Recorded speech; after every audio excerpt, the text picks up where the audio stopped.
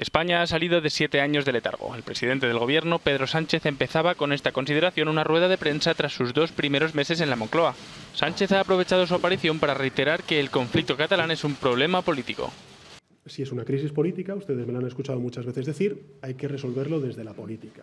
El gobierno de España desde luego va a aplicar la legalidad, va a defender la Constitución, va a defender el Estatuto de Autonomía de Cataluña ante eventuales vulneraciones del mismo si es que se produjeran. Pero lo que sí que le puedo garantizar es que el Gobierno de España no quiere abrir ninguna vía judicial más. Lo que quiere es resolverlo desde la política. Otro tema que Sánchez ha abordado es la exhumación de los restos del dictador Francisco Franco. El gobierno mantiene su postura frente al rechazo de la familia Franco y a las críticas de los sectores más radicales. En relación con el Valle de los Caídos y la exhumación del dictador, les digo lo, lo que he dicho hasta ahora. Lo vamos a hacer lo vamos a hacer muy pronto, muy pronto. Pero bueno, si hemos esperado 40 años, esperar unas semanas, unos días, lo importante es que se haga con todas las garantías y eso es lo que está eh, haciendo el Gobierno.